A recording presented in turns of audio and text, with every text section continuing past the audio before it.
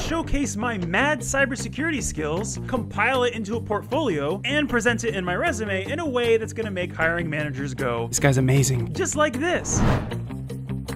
So there's a little more to it than that. But that's pretty much it. This is a full guide on how to showcase your portfolio in your resume. That's what I've been waiting for. So head on down to GitHub, and more specifically, check out their GitHub pages. If you don't already have an account, you're gonna want to create an account, sign up, use any email you want. Once you're signed up, you're gonna wanna create your first public repository, or repo for short. Um, you're gonna wanna name it just like they say in the in the instructions. So Mad Hat is taken.github .io. That already exists because I created one already, but this is what your format should look like. That's all you have to put in here. You click create repository and it will create your repository. You're going to be able to then go into your repo on the right here or wherever else you want to click. Uh, you just click your icon there, go to your repositories. You'll see here it's now public in my absolute mad cybersecurity project portfolio as a description. If you just click into it, you can now add files to it. So let's re-expand this bad boy. And from here, you just want to add a file. Create a new file. So this will be Uh, index.html. So you just need an HTML file for your repo to load the web page off of. So you just want to create this index file, index.html, copy pasta this over, control C, control V, make sure you name it index.html. Naming is very important. And if you hit commit changes, you're going to create the index HTML file within your madhatistaken.github.io repository. That's going to take a little bit for it to load. load as in for for your site to actually get that change. It shouldn't take too long, a couple minutes maybe. And you can either just directly go to the URL or just click the visit site here. Um, the 404 page will disappear eventually. You, you can just hit refresh over and over, go make a sandwich, come back, and there you go. This is what you're gonna see after you refresh it a bunch of times. Hello world. Super basic, but we can't leave it like this. We'll get made fun of, and I can't let that happen again. We have to make it look more professional with a theme. How do we do that, you ask? Well, luckily, GitHub has retired recently the super stupid easy way of doing this. But if you look down here under pages or settings pages, you'll see here you can add a theme to your site via Jekyll, which I don't have a ton of experience with Jekyll, but you click into there, It'll give you a little tutorial on how to do it. The tutorial isn't very straightforward because it's giving you all these different options that you can do. Customize your theme CS, customize, customize, customize. We don't want to customize anything yet. We just want a template. What you can do is go to supported themes and they provide a nice list here of the supported template themes that you can get. Now, there's an obvious choice here. I'll give you a minute to spot it.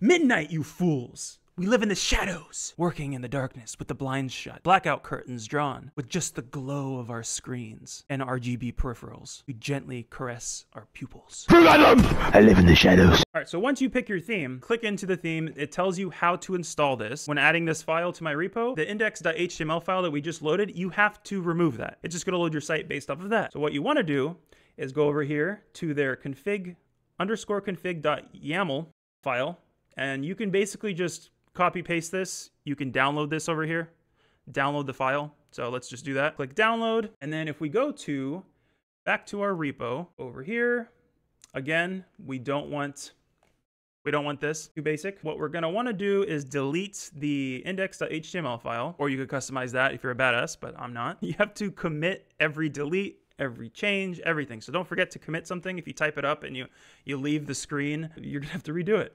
So again, clean slate.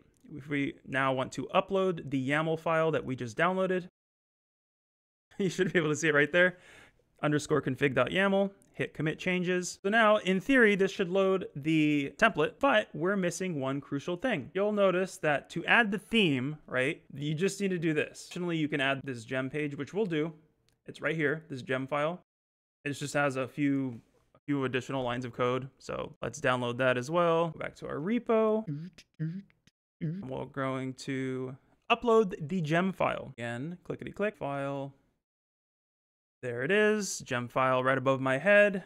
Hit commit changes. That's in place now. You'll notice if I go here now, this is a 404 because again, we don't have that HTML file that we so desperately need for our website to load. And without it, it won't load We go back to the the hacker theme instructions here. That's all it tells you to do. So you're like, well, it's just loading the the initial HTML hello world page. What the fuck? Well, I'll tell you what the. You have to load another index file.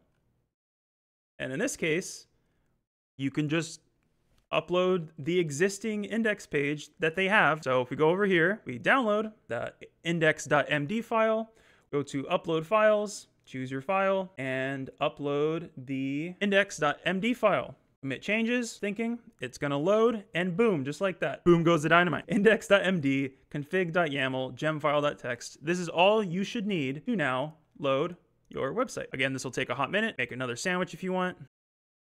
There you go. Check it out. Look at that.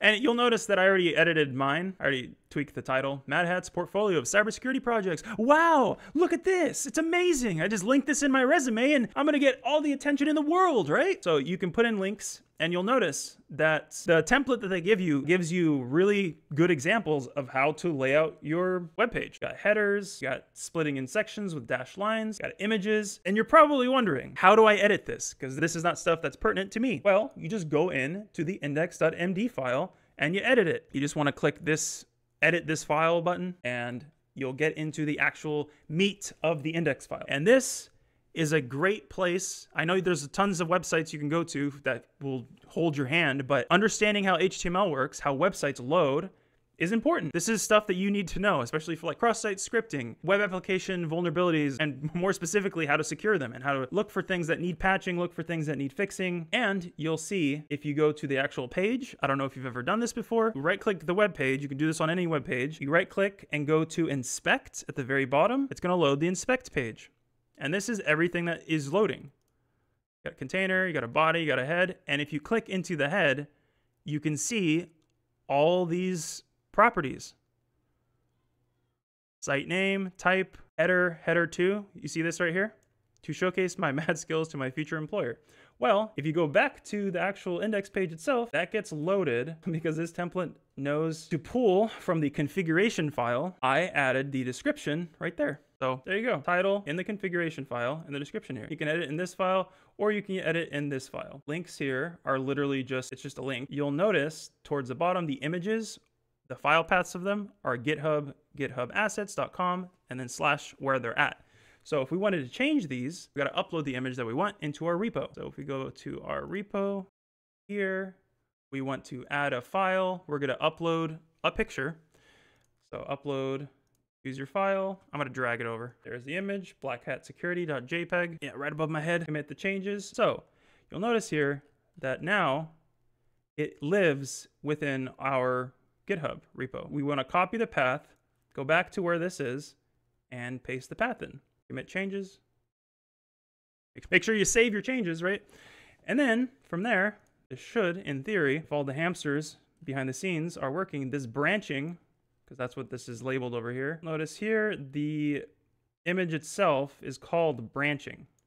We could change that to make a difference. Refresh a few times. This should, yeah, there you go. As long as you upload the image to your repository or somewhere that GitHub can have access to, copy the file path from GitHub into your index.md file, you can load the images. So if you've got screenshots of your projects, put them in, put in descriptions, and yeah, just familiarize yourself with HTML because when you're editing this, you'll notice there's specific ways of doing things. They're specifying headers. If you go back to the web page, you'll see header 1, header 2, header 3. Header in this instance is going to be a, what is that? A number? number signs. So if I, for example, to show you that that's what that does, if we do one uh, one number sign at hex, yeah, that sounds better. Mad Hat hex. Commit the change, and in theory, because everything is in theory these days, it doesn't always work the way it's supposed to. Learn that the hard way. Hit refresh. We'll make another sandwich. Grab a drink, maybe two, and you can also confirm, I guess, from here. So you don't even necessarily have to reload your site. So as long as you see it in here, it will eventually get to your your website. So as you can see, it's that one number sign gives us the first header, the two number signs, and so forth and onwards. And to victory we go, to the new, and the immortal words of one of the comments. We're getting out of Pop's house with this one. and yeah, this is clean. I like this. It's nice on the eyes. I like green. I don't know if you can tell, but I like I like green. But yeah, you just edit it the way you want. You can embed videos in here, probably images, and just format it. And then link your github.io in your resume. Explain. So you have your portfolio, you have your projects section. Just briefly describe what you did, and you could just have a link at the end of it to your project page. So you can split this out into various pages, and each page can have its own dedicated blog of what you did and breaking it down each step screenshots, images, videos, what have you. And that is putting your best foot forward when you're applying to jobs because it's not only showing that you have done technical things before, you understand how they work, but you also are willing to put forth the effort to document it. Because if there's one thing I can't stand, it's outdated documentation. When I'm following like these GitHub pages, for example, or the theme instructions and something is missing, it's like, why isn't this working? I gotta Google shit now to figure out why this isn't working, which is a good skill set to have to be able to understand when something's not working, where you can go to fix it. Documentation is gonna be a huge part of your security analyst, security engineer, what have you, AppSec pen testing, it's a massive portion of what you do in your day to day work. So might as well get started now. And yeah, hopefully that clears up some confusion on how to present your fancy cybersecurity projects on your resume. And you don't have to use GitHub, everyone does, but you don't have to. You could use WordPress if you hate yourself, which would give you the opportunity to practice investigations once it gets hacked. Or you could make an awkward video like this one, going over how you did everything on the project and link the video or YouTube channel, or if you have multiple projects. The world is your oyster, which is an idiom that is meaning to say if you put in the work at something difficult, there's a reward waiting for you. I